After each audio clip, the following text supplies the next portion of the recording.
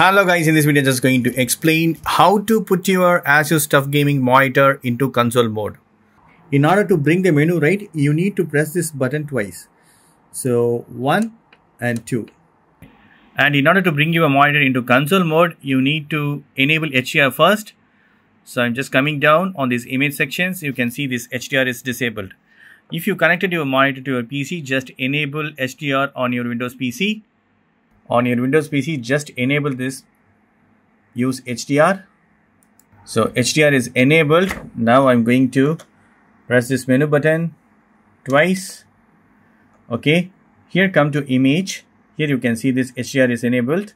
Under HDR, right, we need to come to HDR. By default, Asus Gaming HDR is selected. So I need to move on. So here is the console mode. So choose this console mode you need to press the menu button to select it. So that's it. You need to come to HDR. Here it's console mode. You can change whatever you want. Okay.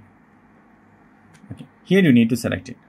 So that's it friends. Hope this video is very much helpful. Thank you so much for watching. Please put a comments and feedbacks and media forms. Thank you. Bye and take care.